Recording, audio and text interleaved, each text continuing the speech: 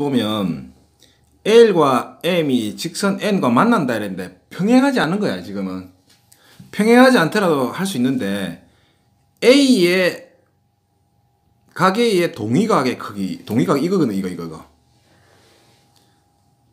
같지는 않고 동의각이야. 같은 위치에 있어 동의각 여기가 A거든. 응? 와 B각의 억각이라 했어 이거잖아 이거 이거 이거. 맞나?